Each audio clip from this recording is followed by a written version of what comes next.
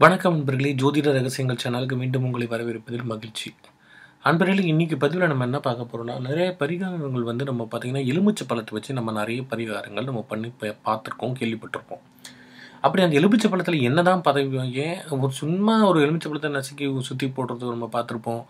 திருஷ்டி சுற்றி ரோட்டில் உடைக்கிறத பார்த்துருப்போம். அதில் குங்குத்து தடவி வாசலில் விற்கிறத பார்த்துருப்போம். இது எல்லாத்துக்குமே வந்து பார்த்திங்கன்னா ஒரு ச விஞ்ஞானபூர்வமான ஒரு உண்மை வந்து அதில் மறங்கி இருக்கிறது என்பது ஒரு நிதர்சனமான உண்மை.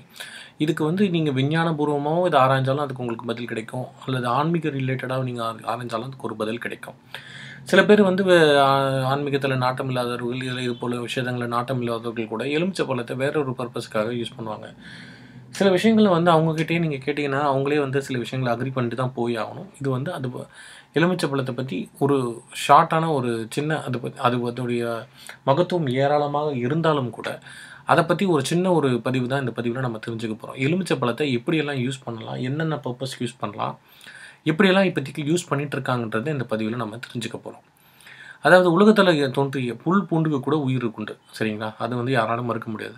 அதற்கு அதற்கு தீங்கு செய்யக்கூடாது என்ன துறவிகள் வந்து அதை மிஞ்சிச்சு நடக்கக்கூடாது என வந்து சமண மதம் போதிக்குது நமக்கு. ஒவ்வொரு தாவரத்திற்கும் பார்த்திங்கன்னா ஒரு மின் மின்சக்தியும் உண்டு காந்த சக்தியும் உண்டு. அவை தாவரத்துக்கு தாவரம் வித்தியாசப்படும். ஒவ்வொரு தாவரம் ஒரு ஒரு செடிக்கும் ஒரு வே வேறுபட்டு தான் நிற்கும். எலக்ட்ரோமீட்டரை வச்சு தான் அந்த மின்சக்தியை நம்ம அளக்க முடியும். அந்த மின்சக்திக்கு பயோ எலக்ட்ரிசிட்டி அப்படின்னு பேர் இருக்குது இதே மாதிரி எல்லா ஜீவராசிகளுக்கும் மின்சக்தி கண்டிப்பாக இருக்குது அது வந்து நம்ம வந்து எனர்ஜி லெவல்னு சொல்லுவோம். ஒவ்வொரு இடத்துக்குமே ஒவ்வொரு எனர்ஜி கண்டிப்பாக இருக்கும். இதில் ஜீவனுள்ள கனி அப்படின்னு என்பது வந்து பார்த்திங்கன்னா எலுமிச்சை பழத்தை சொல்கிறாங்க எலுமிச்சை பழ தோப்புக்குள்ளே வந்து ஆசாரம் இல்லாதவர்கள் போனால் அவை வாடிவிடும். ஏன்னா அப்படி ஒரு எனர்ஜி வந்து அதுக்கு வந்து அது அதுக்கு வந்து எனர்ஜியை மெஷர் பண்ணுறதுக்கும் எனர்ஜி வந்து டிரான்ஸ்மிட் பண்ணுறதுக்கான பவர் எலுமிச்சை பழத்துக்கு உண்டு. எலுமிச்சை பழ தோட்டத்தில் சாம்பிராணி புகை போட்டு தீய சக்தி விரட்டுவார்கள். ஓகேங்க பதார்த்த குனி சிந்தாமணி எனும் நூலில் எலுமிச்சை பழ பதத்து பற்றி கூறப்பட்டுள்ளது. முன்பு வாழ்ந்த இந்து துருவிகளுக்கு தங்களுக்கு மாயினால் தூண்டப்படும் காம சக்தியை அடக்க வந்து எலுமிச்சை பழத்தை பயன்படுத்தியதாக தெரிகிறது. அக்கினி தத்துவம் உள்ள ஆண் தெய்வங்களுக்கும் பெண் தெய்வங்களுக்கும் எலுமிச்சை பழம் மலை போட்டு குவிக்கிறத நம்ம பார்த்துட்டு தான் இருக்கோம். அதாவது அப்படி போட்டிங்கன்னா அக்னி தெய்வம் ரொம்ப ஹீட்டான ஒரு மாலை. அந்த அந்த கு- தெய்வம் அந்த இதுலேருந்து ரொம்ப ஹீட்டான அந்த சிலைகள் செஞ்சுருக்கும் போது அதுலேருந்து வர ஹீட்டை வந்து ரிடியூஸ் பண்ணுறதுக்கு எலுமிச்சைப்பழம் மாலையை போட்டு குளிர்விப்பாங்க. அதுக்காக தான் எலுமிச்சை மாலை போடுறாங்க. மாரியம்மன் கோயில் காளியம்மன் கோயில் ஆகியவற்றில் பக்தர்கள் மஞ்சள் பொடி நல்லெண்ணெய் சேர்த்து எலுமிச்சைப்பழம் சாதம் நைவேத்தியம் செஞ்சு பின் சாப்பிட்டா தீராத நோய் எல்லாம் விலகிடும். ஏன்னா அதுலேருந்து வர ரேடியேஷன்ஸ் எலக்ட்ரிக்கல் பவர் தான் அதுக்கு காரணம்.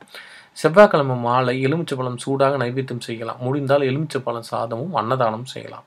எலுமிச்சை பழம் அதீத சக்தி பற்றிய நூல் இருப்பதாக இப்போ வந்து அதுக்காக இதுக்காக வந்து இப்படி ஒரு நூல் இதுக்காகவே எலுமிச்சை பழத்துக்காக ஒரு நூலே எழுதலாம் ஆனால் இது வரைக்கும் இப்படி ஒரு நூல் வந்ததில்லை. அஷ்டகர்மம் சொல்லப்படுற எண்வகை தொழில்கள் அதாவது மோகனம் வசியம் ஆகர்ஷணம் ஸ்தம்பலம் உச்சாடனம் வேதனம் வித்தேடனம் மரணம் ஆகியவைன்னு சொல்லப்படுது. மேற்படி உள்ள எட்டு தொழிலுக்குமே வந்து சித்தர்கள் எலுமிச்சை பழத்தை உபயோகிச்சதாக தெரியுது. மாந்திரிகத்துக்கும் முக்கியமான பொருள் வந்து பார்த்திங்கன்னா எலுமிச்சம். அது இல்லைன்னா மாந்திரிகமே கிடையாதுன்னு கூட நம்ம சொல்ல முடியும். நம்மளுடைய வலது கையில் ஒரு எலுமிச்சை வச்சுக்கோங்க. நம்ம ஒருவரை எண்ணி நாம் எண்ணம் நம் எண்ணம் நம் எண்ணிவிடம் போய் அலைய தாக்கும். அதுக்கு பேர் தான் டெலிபதி முறை.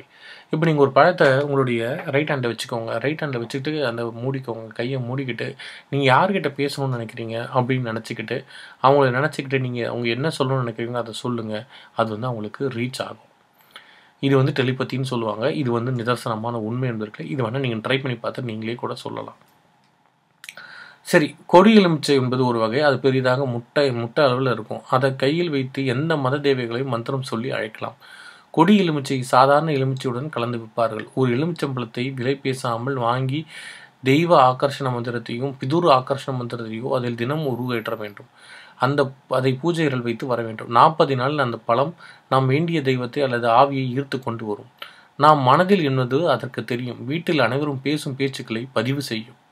அதனால் வீட்டின் முகப்பில் எலுச்சப்பழம் கட்ட வேண்டும். வீட்டுக்குள் நுழைபவர்களின் எண்ணம் நமக்கு நம்மை தாக்குவதில்லை.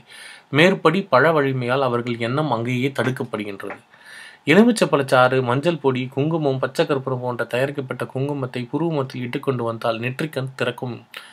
அதாவது தேர்ட் ஐ ஓப்பனிங்னு சொல்லுவாங்க. தியானம் பண்ணுறதுக்கும் மெடிடேஷன் பண்ணுறதுக்கும் இந்த தேர்ட் ஐ ஓப்பனிங் வந்து ரொம்ப ஒரு முக்கியமான விஷயமா இருக்குது அதுக்கு இந்த பொடிகள் இந்த சாரை வச்சு யூஸ் பண்ணிங்கன்னா அது உங்களுக்கு சீக்கிரமாகவே பலன் கிடைக்கும். அமாவாசையில் வந்து பார்த்தீங்கன்னா, சுடுகாட்டுக்கு போய் என்ன பண்ணுவாங்க, தனக்கு அடிமையாக இருக்க விரும்பும் ஆவியை வா என எண்ணி எலுமிச்சை பழத்தை எறிந்துவிட்டு வந்து விடுவார்களாம். பௌர்ணமிக்கு மேற்படி பழம் ஒரு நாள் இரவு அவர்கள் கால் மாட்டில் கிடக்குமோ அதை எடுத்து துண்டா துண்டாக்கி சாப்பிடுவார்களாம். அந்த ஆவி சாப்பிட்டவர்கள் உடலுக்குள் போய்விடுமோ அதனை ஏவி மாந்திரிகம் தொழிலாம் பார்ப்பாங்களாம். இப்படி தான் வந்து மாந்திரிகம் பார்க்குறவங்கலாம் அந்த எலுமிச்சை பழத்தை இப்படி யூஸ் பண்ணுறாங்க இள வயதிலேயே மாண்பர் மண் மாந்திர நண்பர் வந்து இதை வந்து இதை வந்து இப்போ கூட நீங்கள் வந்து உங்களுக்கு தெரிஞ்ச யாராச்சும் மந்திரம் மாற்றுறவங்க மாந்திரிகம் சம்மந்தத்துல இருக்கவங்கன்னா, அவங்கக்கிட்ட வந்து இதை நீங்கள் கேட்டு தெரிஞ்சுக்கலாம். கேரளாவில் என்ன பண்ணுவாங்கன்னா, ஆவி பிடிப்பவர்களை உட்கார வச்சு ஒரு பெரிய எலுமிச்சை பழத்தை எடுத்து, அவன் தலையை சுற்றி வலதுபுறமாக ஒரு சுற்று சுற்று சுற்றுவாங்க பின்னாடி ஒரு குண்டூசி எடுத்து பழத்தின் தலைப்பக்கம் சுற்றி கத்தி அமுக்கி விடுகின்றனர். ஓகேங்களா. பின்னர் ஒரு சுற்று அதே தலை ப பக்கம் குத்தி அமுக்கி விடுகின்றனர். பின்னர் ஒரு சுற்று அதே பழத்தை இடது பக்கமாக அவர் சொல்லி எடுத்து பழத்தின் கீழ் பக்கம் குத்துகின்றனர். பின்னர் வலது பக்கம், இடது பக்கம் மாறி மாறி ஒவ்வொரு சுற்றுக்கும் ஒரு குண்டூசியாக பழத்தில் குத்துகின்றனர். பழக்கத் பழத்தின் மேல் பக்கம் ஒரு குண்டூசி சுற்றி வர 25 குண்டூசிகளாக மொத்தம் 27 சிறு குண்டூசிகள் அவனை பிடித்து பீடை விட்டு விடுகின்றது. இது ஒரு முறையாகவே அவங்க வந்து கேரளாவில் பண்ணிகிட்டு இருக்காங்க. அதுக்கப்புறம் பார்த்திங்கன்னா அதை வந்து என்ன பண்ணுவாங்க, அவங்க ஓடுற ஒரு ஆற்றுல அந்த எலுமிச்சை பழத்தை விட்டுருவாங்க. சரிங்களா. இது வந்து எலுமிச்சை பழத்தை வச்சு செய்யக்கூடிய இன்னொரு ஒரு வகையான ஒரு பரிகாரம். தன் குலதெய்வம் எது என்றே தெரியாதவர்கள் ஒரு எலுமிச்சை பழத்தை வாங்கி, "என் குலதெய்வமே நீ எங்கே இருக்கிறாய் என மனமுருகி வேண்டி வீட்டில் வச்சிடுங்க. தினமும் வேண்டிக் கொள்ள வேண்டும். ஒன்பது நாள் கழித்து அதை அருள் பார்க்க சொல்லவரிடம் கொடுத்தினா உங்கள் குலதெய்வம் எங்கு உள்ளது என எளிதாக சொல்லிவிடுவார்கள். இது வந்து உங்களுடைய குலதெய்வம் கண்டுபிடிக்கிறதுக்கான ஒரு ஈஸியான மெத்தடு. தெய்வங்களை உபாசனை செய்பவர்கள் பழத்தில் தெய்வ மந்திரத்தை மூன்று தினங்கள் உருஏற்றி, பின் அதை சாற்றில் தண்ணீர் விட்டு, பிட்டு, லவங்கம், ஏலக்காய் வந்து சாப்பிட்டு வந்தால் விரைவில் சித்தி கிடைக்கும். சில சாதுக்கள் வந்து உருஏற்றி கொடுக்கும் பழம் வெகுநாள் வரை கிடாது நம்ம வீட்டில் வந்து சில பேர் சில சாமியார்கள் யாரா இல்லை வந்து சித்தர்கள் யாராச்சும் வந்து நம்மக்கிட்ட வந்து ஒரு பழத்தை கொடுத்தாங்கன்னா அது ரொம்ப நாள் வரைக்கும் கெட்டு போயமே இருக்காது சில பேர் உருஏற்றி கொடுத்தாங்கன்னா ஒரே சில ஒரு நாள்லேயே அது அழுகிடுற மாதிரி கூட இருக்கும். அப்படி மந்திரவாதிகள் கொடுக்கும் பழம் நம் வீட்டு நிகழ்ச்சிகளை அவருக்கு அறிவித்து கொண்டே இருக்கும். அதாவது டிரான்ஸ்மிட் ஆகிட்டே இருக்கும் அப்படின்ற மாதிரி சொல்கிறாங்க அதன் மூலம் அவர் உங்களை ஆட்டுவிப்பார். அதனால தான் சில பேர் வந்து அந்த ம எலுமிச்சை பழத்தை நம்ம வீட்டில் குடுத்தோம்னா, நம்ம வீட்டில் நடக்கிற விஷயங்கள் எல்லாருமே அவங்களுக்கு அங்கேருந்து பார்த்துக்கிட்டு இருக்க முடியும். அதாவது இங்க என்ன நடக்குதுன்றதான் அவங்களால உணர முடியும். தை மாதம் பிறப்பு அன்னைக்கு பார்த்தீங்கன்னா, அல்லது புது வருஷம் அன்னைக்கோ அருளா அருள்வா ஒரு எஜமான்களையோ பார்க்கும் போகும்போது அவசியம் எலுமிச்சை பழம் கொண்டு செல்ல வேண்டும். நம் எல்ல நம் நல்ல எண்ணத்தை அதன் மூலம் அவர்களுக்கு சமர்ப்பிக்க வேண்டும். எலுமிச்சையை வைத்து அநேக அபிசார யோகம் செய்கின்றனர். அதை நான் அதெல்லாம் வந்து நம்ம இப்போ அதை வச்சு நிறைய கெடுதல்கள்லாம் பண்றாங்க. அதை வந்து நம்ம இங்கே வந்து சொல்ல வேண்டாம். சரிங்களா. இது மாதிரி எலுமிச்சை பழத்துக்கு வந்து பார்த்தீங்கன்னா, சாற்றுக்கு பயங்கர சக்தி உள்ளது. சாத்து எலுமிச்சை சாத்துக்கு பயங்கர சக்தி உள்ளது. அநேக சித்த ஆயுர்வேத மருந்துகள் எல்லாமே எலுமிச்சை சாற்றில் தான் சுத்தி செய்கிறாங்க ஐம்பது மில்லி சாற்றுக்கு ப 50 மில்லி சாற்றில் ஒரு பவளத்தை அல்லது கடல் சோழியையோ தட்டி போட்டால் ஒரு மணி நேரத்தில் அவை கரைந்து போகும். இதற்கு பயோ கால்சியம் என்று பெயர். மருளாடிகளின் சாமி ஆட்டத்தை குறைக்க எலுமிச்சை பழம், வெல்லம், ஏலக்காய் போட்ட வானத்தை கொடுப்பது அனைவரும் அறிந்தது. சரிங்களா.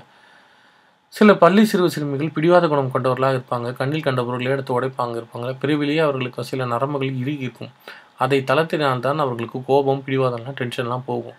அவர்கள் ஒரு டம்ளர் தண்ணீர், அரை எலுமிச்சை சாற பிழிஞ்சு, சிறிது வெல்லம், ஒரு ஏலக்காய் தட்டி போட்டு கொடுத்தீங்கன்னா அதை எலுமிச்சப்பழத்தை குடிச்ச சப்ஜெக்ட் கொடுக்கலாம் அப்படி கொடுத்தீங்கன்னா பகல் 12 மணிக்கு 12 மணிக்கு ஒரு மணி நேரம் மட்டும் கொடுக்கும் ஒன்பது நாள் இப்படி கொடுக்கவும், பின் கொடுக்க வேண்டாம். குணம் தெரியும். எலுமிச்சை பழம் ஏராளமான ரகசியம் உள்ளது. இது விஞ்ஞானபூர்வமாக ஆராய்வது நல்லது. ஆன்மீகத்திற்கு எலுமிச்சை பழம் ஒரு சிறந்த துணை என்பதில் எந்த அளவுக்கும் சந்தேகம் கிடையாது. எலுமிச்சை பழத்தை எப்பவுமே நம்ம வீட்டுக்குள்ளேயோ, நம்ம போகிற இடத்துக்குலாம் நம்ம கையிலேயே வச்சுட்டு இருக்கிறது பார்த்தீங்கன்னா, நமக்குள்ளே இருக்க நம்மளை வந்து நெகட்டிவ் எனர்ஜி அட்டாக் பண்ணாமல் அது வந்து தடுத்து நிறுத்திட்டே இருக்கும். இது வந்து நிதர்சனமான உண்மை நண்பர்களே. இது போன்ற சில ஜோதிட ரகசியங்கள் உங்களுக்கு அடுத்த பதிவும் நிறைய வர காத்துக்கிட்டு இருக்கு. தொடர்ந்து நம்ம சேனலை சப்ஸ்கிரைப் பண்ணுங்கள் அடுத்ததில் வேறொரு விஷயத்த நம்ம தெரிஞ்சுக்கலாம். நன்றி, வணக்கம்.